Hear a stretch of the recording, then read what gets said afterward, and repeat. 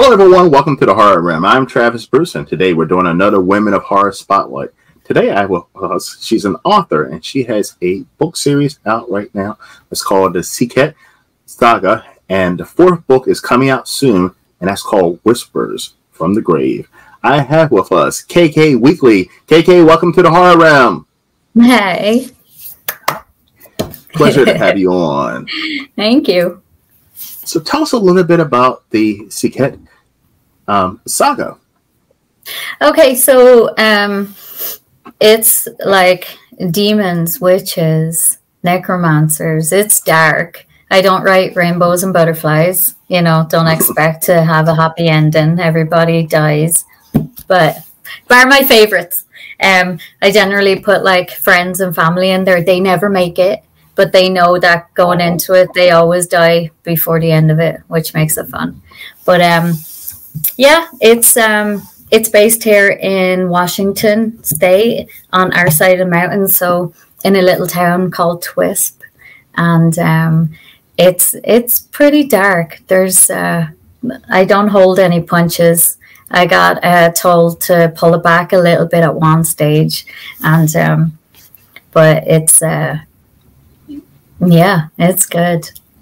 I like writing I it, so I enjoy I it. it. Now, now, so when you were told to pull it back a little bit, it was too dark. what does that mean? what did that mean to you? Meant, it meant at the time uh, we were pushing for like young adult because I'd never done it before, and I went way too dark I went way too violent or way too um, murderous, I guess. I don't know. Way too spooky. And uh, she was like, no. So it, eventually it ended up being uh, for adults, um, which kind of left me to, to do what I wanted then, which was really good. But yeah, I, I don't write. I, I write to like shock to be honest. it's like, oh shit, yeah, she did it. I did it. Yeah. Because I can imagine, because because I've I've interviewed um, horror authors who do the YA, and I'm, I'm yeah. like, but at what? It must be tough because like to, to determine how far you, you, go with those type of books. Yeah, I have a I have an amazing editor though, and she she lets me away with quite a lot. But then when I get my manuscript back and it has like red through it, and she's like delete, then I know I've gone a bit too far, and I'll give it to her because she doesn't lead me astray. So she's uh yeah, she has my best interests at heart. You seem like a pleasant individual, KK. Where do you come up with all of these dark images and these dark stories? Um, well, I was born and reared in Ireland, so a lot of our um, folklore and stuff. Um, and I love like the the the different realms of of the universe and all that, whatever. But you can I like um, the dark folklore of my own country. So every every book, then I do have stuff about Ireland in it. Like I put in um, entities out from uh, my own culture, and then um, I just I grew up reading stuff, an awful lot of stuff about witches, about demons, about, and of course, like the nuns that scared the life out of you in church and they'd scared the life out of you in school. You were like, oh my God. So, yeah, that kind of added to it. I'm like, how can I get my back on this now? So, everything, yeah, it kind of, it kind of comes naturally, to be honest. Now, which is scary in itself. It's good. Yeah. but, yeah, but I, I do with my friends and family because they like to see uh, how they die. They're like, "How did you do it?" And then they get a giggle out of it. But yeah. Has it has it been any point that you kill off a family or friend and they're like, "KK, holy shit! Did, did why'd you have to go that far?" Yeah. I would say, well, you asked for it. Um, I actually did have a cousin who, um, in in um, another book of mine, she's like, "Put me in," and I, I put her in as a prostitute. Oh. he was like, "What the hell?" But like, yeah, so she got a giggle out of it. It was funny, but. I, I can imagine as an author, it's tough to write a book series, and, and, and the Hmm. fourth book is coming out right now. Now, yeah, and the fifth you always? is fifth book is halfway done. oh wow! Now, Yeah. now, did you mean when you first started to make this into a series?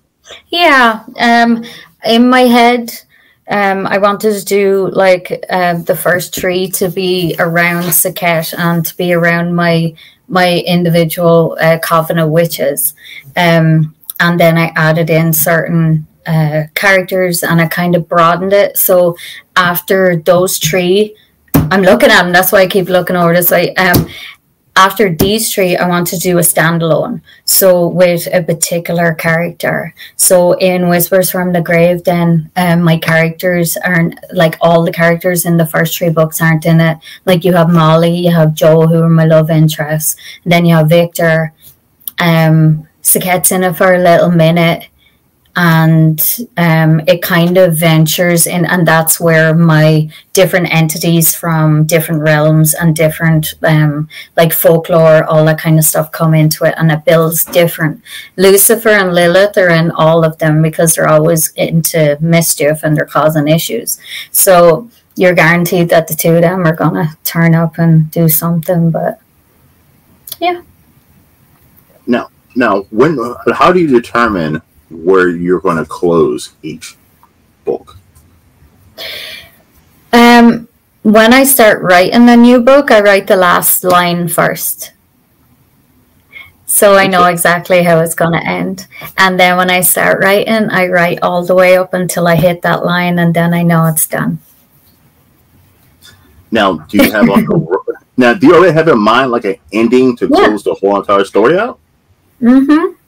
I don't. I don't structure out. I've I've read and I've heard a lot of people that they structure it. They they do plot lines. They do this. They this. They this. So me, I write. I think about it. What way do I want this part of the story to end? I'll write the very last line and then I'll start the book.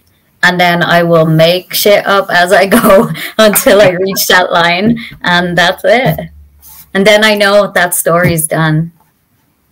Now, how many times has, has the end all be all ending changed? Never. So that, that that's a cement. That That's is the ending. Yeah, that is the ending. Wow. And I will write until, and I will switch things around, and I will um, change a lot of stuff to fit that ending because that's exactly the way I want it to end. So yeah, that's it. Now, to be going these dark places in your head Yeah. when you're writing, do you worry ever that that oh my goodness, this might turn me into a dark person? Sorry, I should laugh. Um, not really. I do always wonder about um, if there, if anybody looked up my Google searches, it would be kind of scary. But um, no, not really. I'm a very, I'm a very level person. So, and I know who I am myself. So no, I'm okay. I'm not gonna. T- I'm not going to like do something as a muse and then go do it. Go that worked, yeah, and then write about it now. Now, now, out of all the death you, deaths you had with any of your characters in the book, which Yeah. one, which one death would you be like, oh hell's no, I wouldn't want to die that way?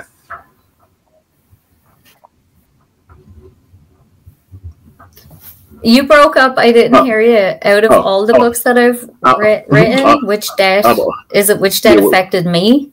No, I'm so which death did you write down and you'd be like, oh hell's no, I would not want to die that way? Oh, um, I don't think so. In this series, I don't think so. In the saga, I think everybody, everybody that has died, um, has died exactly as I want them to. And as the saga goes on, um, they're dying even more gruesome, actually. yeah, which is, but uh, that's so. Now, and I, it's you were talking about like, does it make you make you like the star person? I have started like giggling to myself as I kill oh. people. Oh. It's weird. It's because as I'm writing it, I'm like, oh my god, they're gonna die when they read it, and I think it's very funny. But um, maybe there is an issue. that's that's pretty dark. it's pretty dark. But listen, it, eh, you have to be a little dark you, you definitely have to be a little dark to write horror. I mean, or just create horror. Yeah, that'd be a little dark. Now, now, have you been a horror fan your whole entire life? I think so. Have I what? Okay, are you? Hold on a second. I'm gonna pause for a second. Okay. Now, now, have you been a horror fan your whole entire life? Actually, no. I um initially when I was a lot younger, my favorite book was Jane Eyre, which is pretty dark when you it think about dark. it. It is dark, and I have so many different editions. Um, I try to find the oldest and the most unique editions, like wherever I go. Um, so I read that uh, when I was quite young. I think it was about twelve, and I read that um, and it always made an impression on me. Um, but then I moved on to Jackie Collins, and that blew my mind as a teenager. I was like, "Oh my!" was kind of like, "Okay." And then um, I pretty much moved on to like Stephen King, of course, and um, um, yeah. In general, I don't know. I, I I've never been one for foo foo books. So it has to really hold my attention. And I do like the more serious books and I I do um I do enjoy uh, I don't like a happy ending. Does that sound weird? It seems really cliche. Like I love Nicholas Sparks movies, but I won't read the books. Does that make sense? That. Yeah. It's because I know it's always going to be happy ending, and I would rather watch a happy film and yeah. go back to reading my dark book. so, um, so yeah. I granted, like there's a lot of um, horror books and there's a lot of dark books that end well. Like my books don't end bad, you know, bad stuff happens during them and stuff, but they don't end bad for the most part. It just it ends on either a cliffhanger or it, or it ends on a oh okay, well that was crap but for the for the um for not crap as in it was shit. No, it was like crap for the character that it happened to. But um, no, I don't think the end ends sad. I lie. Um, Sekhet did not end happy. That was actually no, yeah, no, they don't end um really on a happy note. They end on a, a rough note where you know something worse is going to happen. So technically, it mm-hmm. could be worse. That kind of mm-hmm. way. That now, was very drawn out for that simple question. Sorry. Yeah, no, that's good. Now, now, now, now, when it comes to your writing, because you said you're, I mean, your fourth book is about to be released soon, yeah. and you're already halfway through your fifth book. Yeah. So when you finish one book, are you already automatically on to the second one? Yeah. I think it's because um, when I finished the the uh, the fourth book, Whispers on the Grave, Hidden Magic was already in my head. So as soon as I finished that one, I already knew what I was going to do for the next one and what characters I didn't involve in that one. I knew I wanted to make a big thing about them in the next one. And um, so they tend to flow, but um, the first three flowed into each other really nicely because I wanted it as that, but the fourth one ends on its own, which leaves the fifth one open to do its own little thing as well. Which is exactly what I wanted. I didn't want it all like connected because I didn't want people to say, "Oh God, I have to read the first one to be able to know what happens yeah. in the fifth and the sixth one." You know, because mm-hmm. if you like the first one, yes, you're going to do the second and third, which have done amazingly because people enjoy the story. But I didn't want to drag it out so much so that it gets a little bit tedious and it's like meh. So that's why I went to the different characters. Now, have you noticed who's your target audience when it comes to your books? Have you noticed a, a certain demographic or age range? Um, I think honestly, um, it's not it's not deemed for young adult, but you know, my my young adult like nieces and nephews um have read it. They're in 16, 17. Um, and they didn't see anything, you know, that would have shocked them. Do you know what I mean? Um, because they're they're very red anyway. So, um, but I think from like the ages of like 18 upwards, and um, any of the stuff that I've done, it's always come back at like ages like uh, 24 to 37 and then from the ages of like 40 and onwards. So there's there is quite a broad spectrum and it's actually quite balanced between women and men which make me happy. Because i i like to write for everybody and i don't want any of my writing to be deemed as oh it's a woman's book you know?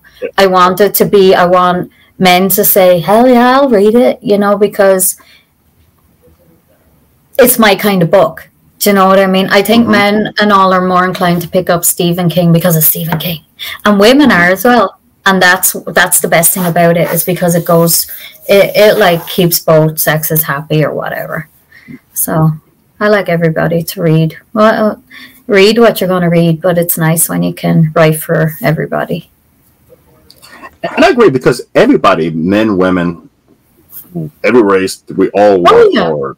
And, and and like I, when I see some creators, authors, I want to say they pigeonhole themselves to okay, I'm only going to target to this audience. Would it be men, mm-hmm. women, black people, white people, Hispanic, whatever? Yeah, I'm trying to target to this audience.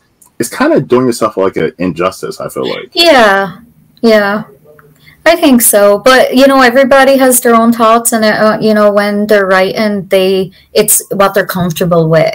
Like me, I will always have a same-sex couple in my books. I don't care. I have family who are gay, both male and female. I will write for everybody. I have the majority of my characters. They always have my main character Molly in the Sekhet Saga. She's black. My sorcerers are black all my other guys are white and for the most part they're all my family members. So i was like mm-hmm. i come from a rainbow family. Don't make me not use them in it. They want to be characters. I'm going to do it. If anybody has issues with it they don't want to read my stuff because of it. I'm okay with that too. Mm-hmm. You know uh, so it doesn't bother me. You'll either love me or hate me and that's okay too. So now do you pay attention to bad reviews of course. I think that you'd be silly not to. But bad reviews and good reviews, I feel, give you the same response of what you should be listening to. You know, you can you can't please everybody, but at the end of the day, the amount of the amount of work that, that you put in and you know other authors put into their work and you acknowledge that I did a damn good job. And yes, you didn't like it, and that's okay because this person liked it, and you know that's great. So yeah, I I take I take it all both of them on the chin, and I say, okay, I'm really glad you liked it, and I'm sorry that didn't you know it wasn't your style, but hopefully you'll find something that you know you enjoy better. But it doesn't really make any difference to how I write. Mm-hmm. You know. And and that's one of the things you get there. I mean, even as I'm, i mean, if you're a new creator, I don't care if it's YouTube, books, movies, whatever. Like, you, you do have to come to the. I, I had to do the same thing. You you, you had to come to the self realization that not everybody is going to like your stuff, and that's okay. Yeah, that's okay. Yeah, because you just got to find your niche audience, and and once you find them, and you put out good work, they're going to continue following you. Oh, of course. Yeah. Everybody's different. Everybody reads. I'm sure there wasn't a lot of 12 year olds reading Jane Eyre, but maybe there was, mm-hmm. you know? Yeah. yes, that's true. Who knows? And I know that I've heard a lot of people saying, you know, I don't read, and that's okay too.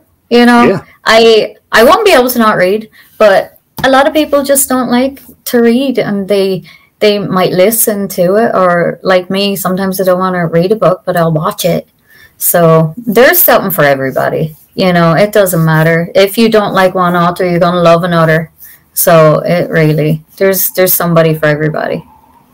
Horror has so many different subgenres mixed into the genre. Yeah. So I need someone who says I don't like horror. I'm like, you just haven't you just haven't found the you just haven't found the right one. That's Yeah. for you because Yeah. there's a little bit of horror.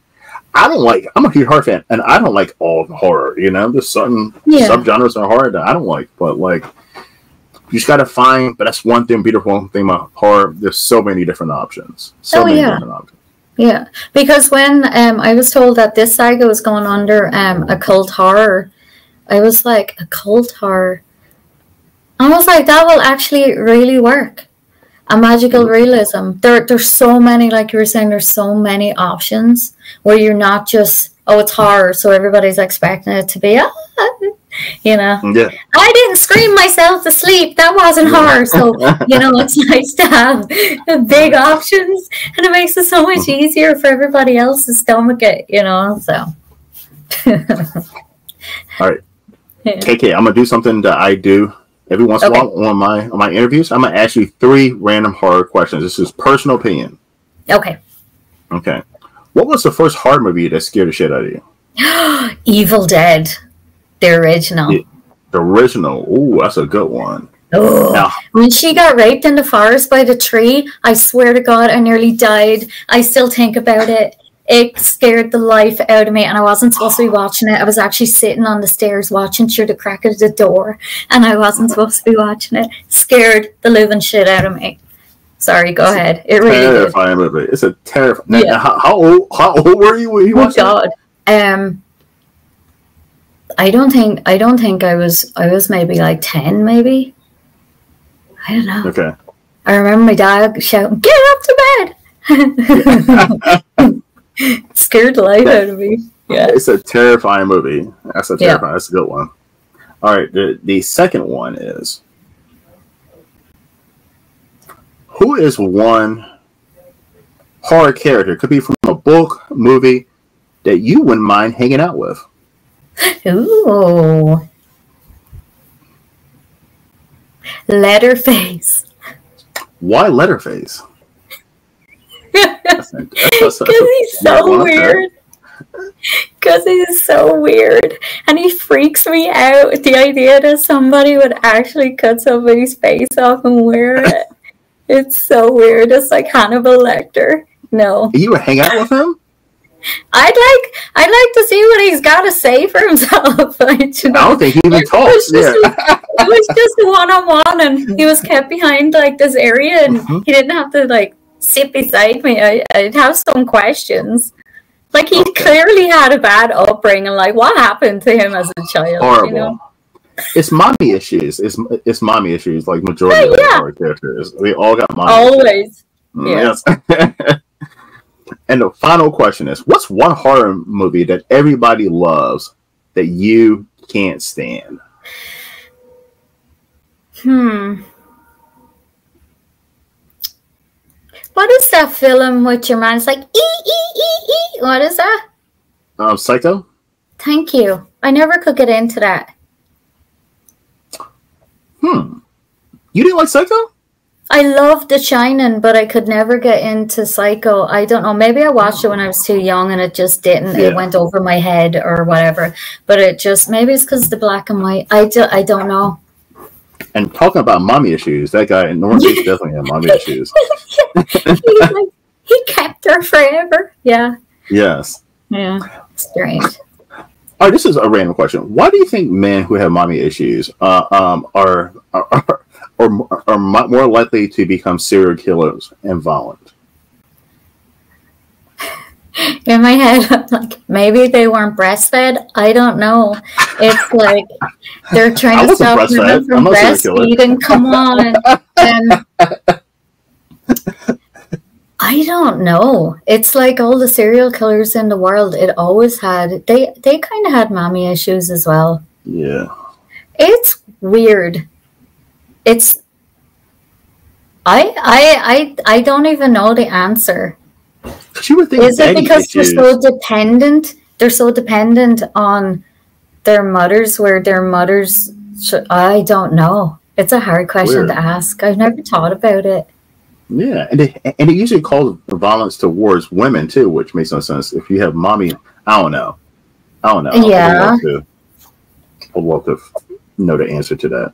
Like, would it be? So- It would it be like from having a bad relationship with their mother, and then they get in a relationship, and they're like they see traits that they don't like, and that's where they take it out on. But Like I if the mother's gone, and all of a sudden, But I've noticed this myself. I'm not gonna listen. I hope I don't get no shit in the comment. I've noticed this is not all single. This is not all single mothers. So I'm not putting in a generalized statement. But I've seen some single Oh, mothers who have sons, and they're so overbearing. Like they're so overbearing. Over. It's almost like their son is like their husband. You know what I mean? And it's kind of weird. And is it just like they're giving them too much responsibility? I think I I think they give their sons whatever they want. You know what I mean? Oh, Kind of. And I don't know if that's I don't know if that's a guilt thing because their father's not there or something. I don't know, but like they tend to give because I, I I've noticed single mothers are tougher on their daughters than they are their sons. They let their sons, you know, get away with murder, literally. But um, oh, I think that's I I think that's whether it's single or married. I think the sons get a free reign a little bit more than the daughters because mothers see themselves in their daughters and they're like, yeah, you're going to, no, you're not going to wear that going out. Where the sun is like, see you later. She's like, peace Yeah. out, son. You know, have Yeah. a good day. But I, I don't know. I, so I, I think it really depends on the person. It depends on uh-huh. the person's own upbringing and how their parents were with them. It could be a lot of stuff with that, you know. So I would like to watch. I would. I would like to read a book or, or see a movie on that because all those guys I, I got on the wall, Leatherface Yeah. and all them, they all got mommy issues, and I wonder why comes to that. All right, KK, where can everyone find you and your books? Um, you can go on anywhere online. You can go on my website, Amazon, literally any online bookstore, all that fun stuff. You can find them there. Awesome. Well, KK, this has been a blast. Listen, everyone, get over to Amazon and grab the first three books right now. The, four, the fourth book will be out soon. Uh huh. other and and look out for book number five. She's already halfway through it, which is insane. You're rocking and rolling. Yeah. KK, this has been a blast having you on. You're more than welcome to come on anytime, okay? Yeah. Hey, and just FYI, we're not saying anything bad about single mothers. We Oh, no, no, like seriously, no, no, no. Power to the single mothers. Okay. And we're not saying and we're, No, we're just talking about we're just talking about horror fictional. They we're talking about like horror, yes. Yes. Yeah, yeah. Yes. I just need to correct that. I'm Yes. and serial killers. So we, we, we, we're, talking about, we're, talking about, we're, talking about serial killers and, and horror characters. That's, that's Yeah. what we're talking about. yeah. Yes. Um, all right, listen, everyone. Thank you for coming to the Horror Realm. I'm Travis Spruce, and that's KK Weakley. We'll see you next time. Take care.